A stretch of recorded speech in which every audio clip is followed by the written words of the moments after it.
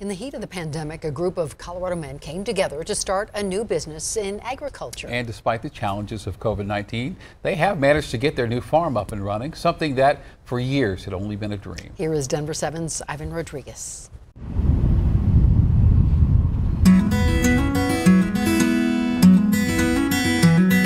About one hour east of Denver, Colorado's land opens up for miles in every direction. It's mostly farmland out here where a lot of it's uh, commodity crops, soy, wheat, sunflowers. But at Sugar Moon, their product doesn't exactly come from the land. Rather, these completely transformed shipping containers.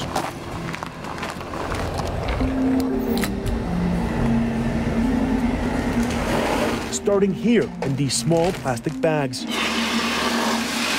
There's nothing that I enjoy more than seeing a, a successful mushroom growing.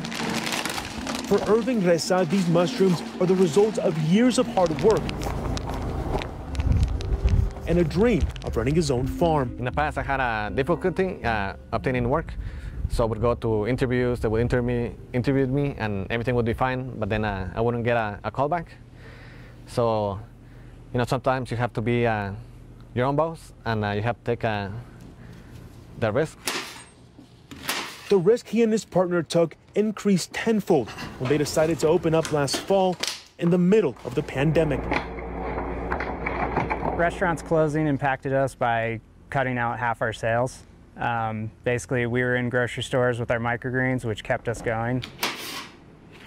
Several harvests later, Sugar Moon Mushroom has found its feet and distributes its produce to different restaurants and organizations in the Denver metro area. In Colorado, like uh, mushrooms have grown a, a lot in popularity in the last few years. Not only do they help fill the increasing demand of mushrooms, but they do so in an ingenious way, battling the elements of Colorado's dry land and creating their own environment for mushrooms to flourish.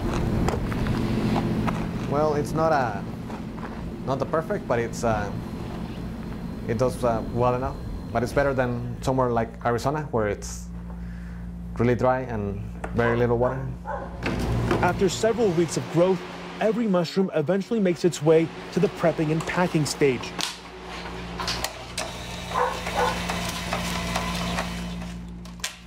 From this small farm in Bennett to the tables of Coloradans across the Front Range,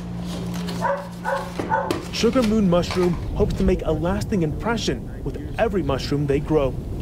Ivan Rodriguez, Denver 7. And if you'd like to try Sugar Moon mushrooms for yourself, you get a gourmet mix starting at around $5 a box. And you can find more information on eastdenverfoodhub.com or on Sugar Moon's Facebook or Instagram.